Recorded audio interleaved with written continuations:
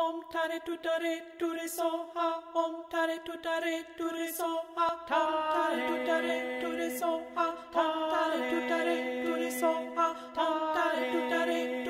When Sangdrol was a teenager, she uh, took on the mighty authoritarian Chinese state and she protested peacefully in Lhasa, the capital of Tibet. As she knew would happen, she was immediately arrested, but somehow she managed to record songs in prison, and those songs became famous, ultimately leading to her release.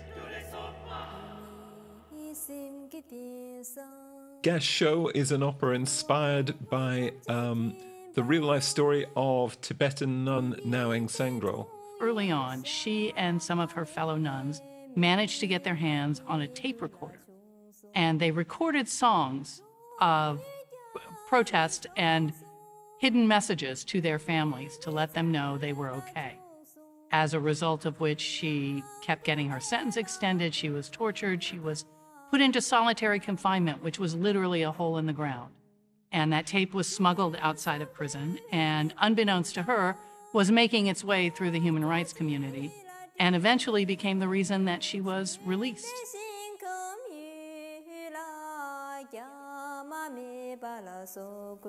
To tell this story, um, we surround the audience and the performers with 24 independent speakers. This means that we can tell the story uh, in ways that wouldn't otherwise be possible. Uh, if we want to surround the audience with 24 chanting Tibetan monks, we can do that, and it's an authentic sound.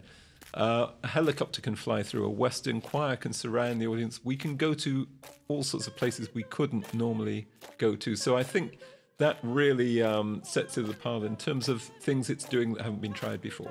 There is such a depth and a richness in all the different music that comes into this story the traditional Tibetan instruments, the chants, the traditional opera sounds. There, there's a song that's almost a Tibetan pop song. I mean, there's so many levels and colors that you get with music that you, you just wouldn't get with a traditional play. This is really a story of what happens when one race subjugates another race. Um, the character in our opera is called Sering, a fictionalized uh, person. Her crime really is to be Tibetan and, and to want to be Tibetan. And we see um, the price that's paid and what happens when you say those people are not like us, they, they are other, and you give yourself license to treat them in different ways. Gasho is part of a saying in Amdo province, Sering Gasho, which is May you live long, may you be loved. And Gasho is the song that Sering sings for her torturers as she is about to be tortured. And it flattened me, it threw me on the floor. It, it's, it's breathtaking. And that to me is the core of the piece.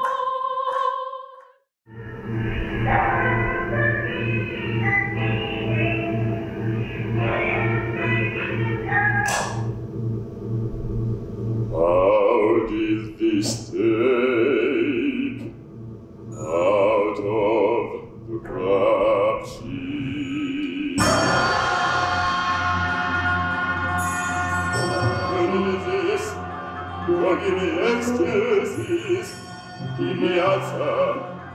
I won't bear.